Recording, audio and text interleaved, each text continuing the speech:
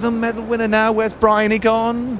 Bryony Shaw. Oh, you're there, Medea. Sorry. Oh. Every, every time I turn around, somebody disappears. No, no, I'm here. Hi. Good. Now, how was it? Because it was very emotional for you, wasn't it? As soon as you'd finished, I mean, you broke down in tears. I did. I was tearful before I even crossed the finish line. Yeah. Yeah, yeah. But now, I mean, on reflection, putting it into perspective, how is it? It's great. It's um, you know coming to moments like this to you know to feel the country's pride behind you, and you know that moment I crossed the finish line, I knew I'd done it, got the medal, and you know now it's on to 2012, and hopefully I can turn this bronze into a gold. Yes. Well, fingers crossed. But you had a bit. Obviously, you had a bit of a collision with the Spanish.